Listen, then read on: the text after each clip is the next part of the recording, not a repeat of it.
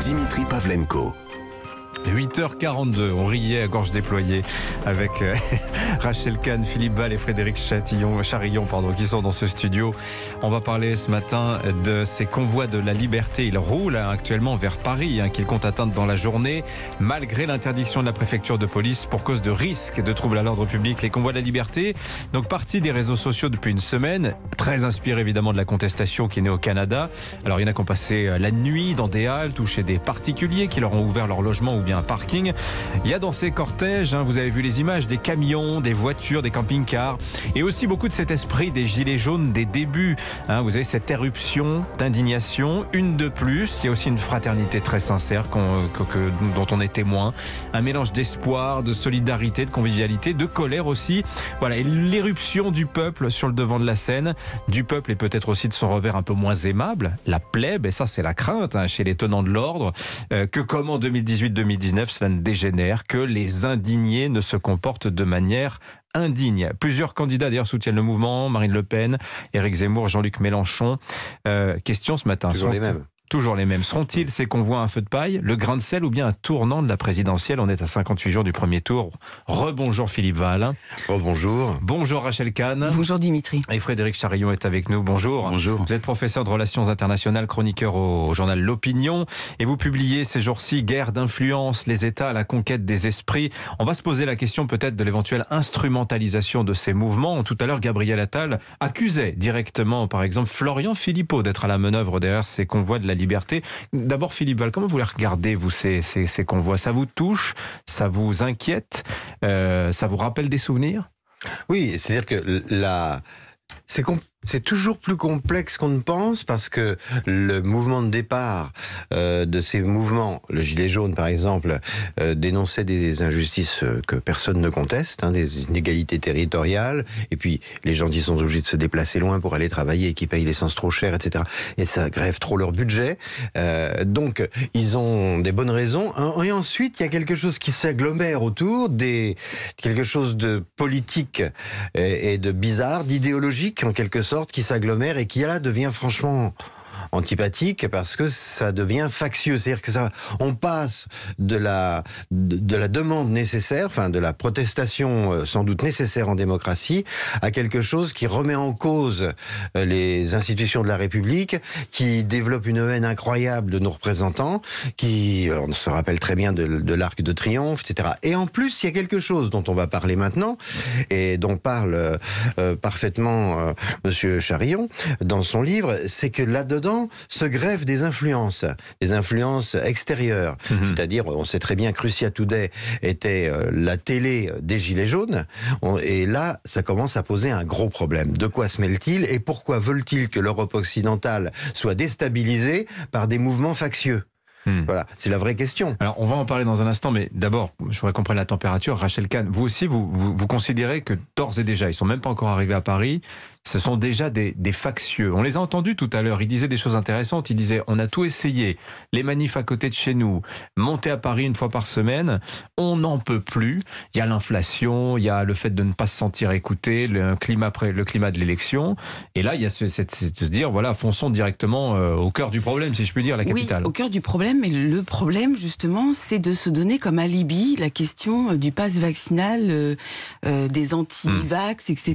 il y a plus que ça quand même. Hein. Non, mais, évidemment, non mais, en affichage. Et mmh. cet affichage-là, moi, me pose un, problème par rapport aux data, parce qu'ils se sont tous donné rendez-vous via euh, Facebook, via Telegram, donc en offrant finalement leurs données, leur géolocalisation, etc., tout en revendiquant le fait que le pass vaccinal serait une limitation de la vie privée et de la liberté. Ensuite, je partage. Non, mais il y a quand même cette, cette partie-là dedans. Mmh. C'était c'est oui, c'est un peu paradoxal. C'est paradoxal. Après, effectivement, on peut pas sur le réel. Moi, je me rappelle du mouvement des Gilets jaunes au départ, qui c'était des, femmes seules en fait qui euh, qui n'en pouvaient plus euh, de supporter la charge sociale de leurs enfants, etc. Et ensuite, effectivement, on voit bien comment c'est repris, notamment par euh, Florian Philippot et ses idéologies complètement délétères, surtout dans ce moment de, de, campagne électorale. Oui, mais on reproduit, j'ai l'impression, les mêmes mécanismes comme en 2018, à savoir d'un côté, il y a, il y a, on voit les caméras tendues qui cherchent à montrer des gens un peu bêtes, qui n'ont pas bien compris, qui n'ont pas les idées très claires. Donc la décrédibilisation d'un côté, et puis de l'autre, la menace brandie, le préfet de police de Paris qui dit on va bloquer Paris parce que c'est inacceptable que ces gens viennent menacer l'ordre public. Ottawa quand même. Hein. Oui, oui, oui, Le modèle, c'est Ottawa. Et Ottawa, ça, ça tourne mal. Donc on ne peut pas laisser non plus une ville entière prise en otage par des revendications. Euh, euh, c'est impossible. Surtout qu'il y, a à Ottawa les drapeaux nazis, euh, les étoiles jaunes, les choses comme ça aussi. Peut-être aussi que le drapeau nazi n'a pas la même valeur au Canada qu'il peut l'avoir. Oui, les Canadiens étaient dans la Seconde Guerre mondiale, assez héroïques d'ailleurs. Ah, ils ont une question du suprémacisme blanc qui est aussi aux. États-Unis assez différente de, ce qu'on voit chez nous. Frédéric Charillon, votre regard. Alors, tout d'emblée, Philippe Val dit il faut se poser la question d'une potentielle instrumentalisation euh, des influences extérieures. Est-ce que c'est pas un peu précoce de dire cela euh, Quel regard vous portez là-dessus? Parce que d'abord la thèse de votre livre, je résume très très sommairement, c'est de dire que il y a le lobbying très direct, il y a euh, le hard power qui consiste à contraindre les autres, en par exemple en assiégeant sa frontière, et puis il y a toute l'influence, les innombrables stratégies des États qui se déploient de manière parfois de manière très subtile pour faire pour faire évoluer les cours des choses chez son voisin, parfois à, à son insu. Oui, les stratégies d'influence, c'est devenu la nouvelle norme euh, des relations internationales aujourd'hui. C'est-à-dire qu'on on peut s'en offenser, on peut dire mais regardez c'est déloyal, on peut dire euh, pour ceux qui s'y prêtent, qui se prêtent à ce jeu c'est de la de la trahison, etc. Mais c'est aujourd'hui la nouvelle règle du jeu international. On essaye de faire changer le comportement des autres, de faire pression sur des gouvernants, sur des sociétés, euh, en influençant des groupes, en faisant passer des informations et évidemment aussi des fausses informations. Et il y, a un, rapport du Parlement britannique il y, a, deux ans à peu près qui, raconte tout ce que la Russie a pu faire dans comme dans les élections américaines, celles qui avaient abouti à la victoire de Trump en 2016, ou dans leur propre référendum euh, sur le Brexit, et qui conclut de façon un peu étonnante, parce qu'après toute cette liste d'actions russes qui est, qui est étalée, on pourrait penser que le rapport dirait c'est scandaleux, et le rapport conclut en disant c'est la nouvelle normalité des mmh. relations internationales. Il faut s'y faire.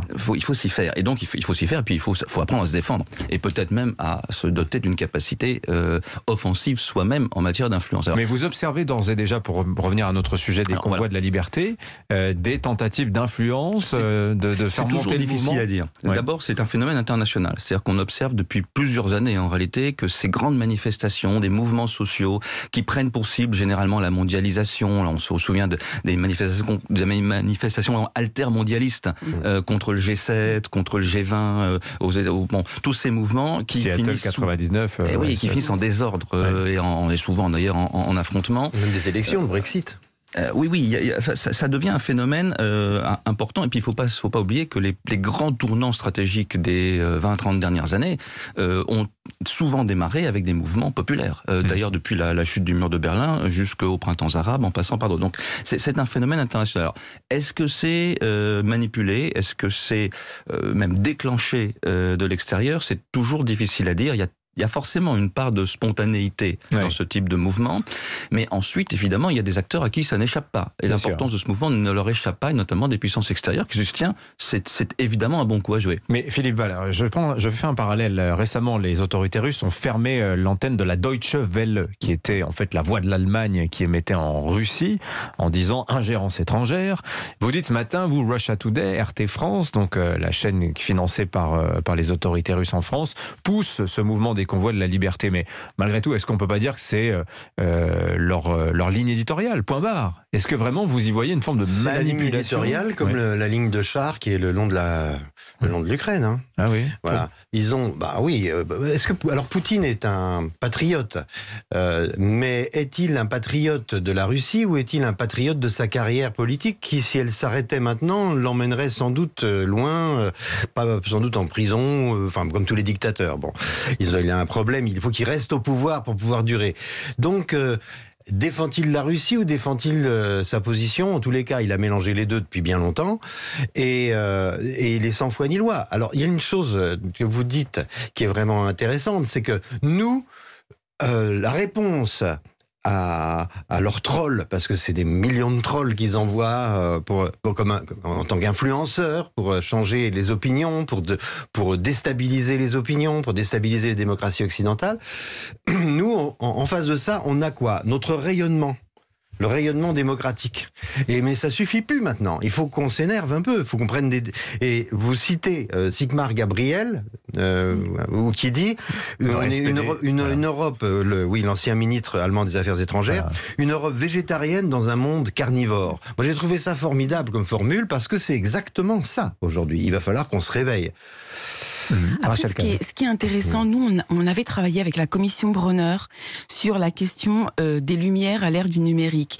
Et ce que l'on, ce que l'on pouvait euh, analyser, c'est comment justement ces ingérences étrangères, ces influences étrangères, euh, finalement instrumentaliser les influenceurs nationaux, ceux qui sont très visibles sur les réseaux sociaux, pour en fait euh, euh, fragiliser Hmm. les gouvernements, les institutions, les autorités. C'est-à-dire que Comment les- ça se passait cette instrumentalisation les- très concrètement en fait, très concrètement, c'est qu'on a des gens qui sont euh, contre les institutions, contre les dirigeants, contre le gouvernement, et qui finalement participent à l'ingérence étrangère en, en- en défendant finalement les intérêts des intérêts extérieurs, sans même forcément le savoir. Oui. Je rappelle, cette com- commission Brunner à laquelle vous avez euh, Rachel Kahn, visait à, hum, comment dire, bâtir une riposte euh, aux fake news.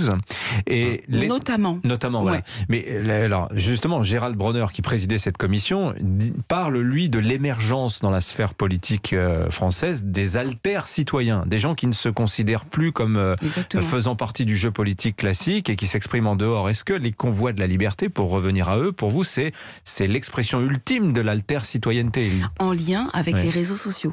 Puisqu'ensuite, c'est bien récupéré, en tout cas, bon, même si c'est des, des petites bulles algorithmiques, euh, en tout cas, tous les dirigeants sont dessus et ça fragilise aussi la parole démocratique, le dialogue et les, et les institutions. Alors ça, c'est du pain béni, j'imagine, pour, euh, pour les puissances étrangères qui cherchent euh, à modifier, influer sur le cours des choses dans tel ou tel pays. hein. Oui, parce qu'il y a une sortie du politique de la part de, de plus en plus de, de citoyens, hein, comme, on, comme on vient de le dire. C'est-à-dire des gens qui ne se reconnaissent plus dans le jeu électoral. Euh, qui n'y croient plus, on le voit aux États-Unis, avec une partie du Parti républicain euh, qui continue avec Donald Trump de, de- de refuser de reconnaître. Euh, ça, c'est un danger pour la démocratie. Mhm. C'est-à-dire qu'il y a des gens qui disent en gros, je, je crois aux élections si je gagne, mais si c'est pas mon candidat qui gagne, je ne croirai pas aux résultats des élections, et, et qui font de la, qui sortent du politique. C'est-à-dire qu'ils vont, ils vont manifester dans les rues, ils vont passer à la violence, ils vont considérer que le jeu politique classique démocratique, ça ne, ça ne fonctionne plus, ils vont sortir du jeu. Et évidemment, ça fait un vivier de contestation, euh, un terrain extraordinaire pour euh, la théorie du complot. C'est quasiment euh, des velours pour, Ouais. pour des puissances extérieures qui veulent manipuler la théorie du complot, parce qu'ils ont compris, ces puissances extérieures ont compris qu'elles avaient affaire là à toute une série de gens à la fois euh, nuisibles, influents, euh, très audibles, et qui étaient euh, eux-mêmes tout à fait prêts à se lancer dans l'état d'action. Mais vous qui avez travaillé sur ces, ces puissances étrangères qui cherchent euh, l'influence et qui la... quel est l'objectif? Alors c'est des objectifs très différents. Euh, D'abord, il y a aussi des puissances... affaiblir l'adversaire Alors, euh, ça, c'est une part. Il y a trois grandes stratégies d'influence que j'essaye d'expliquer un peu dans le, dans a une stratégie très ancienne, celle des démocraties libérales américaines. Il faut séduire, séduire par son modèle. Pourquoi? Pour attirer euh, les euh, élites, aussi bien d'ailleurs que pour donner une vitrine séduisante à sa propre société Mhm. dans des séries télévisées, Hollywood, etc. Vous avez aussi à côté de ça une, euh, une, une influence qui est beaucoup plus nuisible, qui cherche pas à séduire, qui cherche pas à dire venez chez nous, regardez comme notre pays est, est merveilleux. Ça a été le cas un peu avec les- l'Union soviétique euh, d'il y a longtemps. Ça, ça n'est plus le cas. Aujourd'hui, on cherche à déstabiliser l'autre. En effet, on cherche à déstabiliser l'opinion publique, à faire douter les citoyens des démocraties. Et alors pourquoi? Bah, D'abord pour faire avancer ces, euh, pions stratégiques, c'est-à-dire pour affaiblir effectivement l'adversaire, et puis aussi pour renforcer le régime interne. C'est-à-dire qu'il s'agit aussi d'éviter des sujets qui fâchent. Euh, on n'a pas envie de parler trop de l'état de l'économie russe ou de ce qui se passe. Val tout à l'heure, Voilà, hein. ou, si- Ouais. ou ce qui- de ce qui se passe avec les Ouïghours, ou etc. Et puis vous avez une troisième catégorie qui va jouer plus spécifiquement d'in- d'influence, qui va jouer sur le registre plutôt religieux. Euh, C'est, ça vient par exemple des pays du Golfe, c'est-à-dire avec des moyens à financiers extrêmement importants et des réseaux religieux qui sont donc très mobilisateurs. Bien. Et ils vont utiliser ça. AJ+, on parlait de Russia Today, Ouais, mais ouais. AJ+, c'est pas mal non plus. Et euh, ben, faut- ah, tiens, le mouvement des hijabeuses, est-ce qu'il faut y voir aussi la main de l'étranger aussi, hein, d'une certaine manière, oui, encore une euh, fois? bah alors des- évidemment des- que ça correspond à quelque chose qui existe sur le territoire et qui prospère grâce à un encouragement, un encouragement financier, un encouragement parfois scolaire, on l'a vu dans etc. Évidemment que un- ce sont des mouvements encouragés par la Turquie, par euh, et c'est une façon, sans utiliser la force physique, d'inciter, de faire la guerre sans utiliser la force physique, en incitant d'autres à utiliser la force physique. Et sans droit de la guerre, sans règles. Sans règles, Sans C'est règles. qu'il n'y a pas de Il règles. n'y a pas de règles. Une des C'est raisons la pour jungle lesquelles on dit souvent Poutine joueur d'échecs, vous avez des experts Ouais. qui disent c'est pas vrai. Non, au, au jeu d'échecs, il y a des règles. Exactement. Oui, c'est Clausewitz. Merci beaucoup à tous les trois. Passionnante conversation. On aurait prolongé volontiers Philippe Val, Rachel Kahn, Frédéric Charillon. Je redonne le titre de votre ouvrage, euh, Frédéric, Garde d'influence, les États, la conquête des esprits. C'est paru chez Odile Jacob. Et Philippe, on n'a toujours pas parlé de votre dictionnaire philosophique d'un monde Qui sans sort Dieu, aujourd'hui, ouais. qui sort aujourd'hui même. Et euh, je l'ai beaucoup apprécié. Enfin, ça, ça se lit tout seul. Vraiment. Je, dis- je vous le dis euh, vraiment euh, pas- sans, sans flagornerie aucune.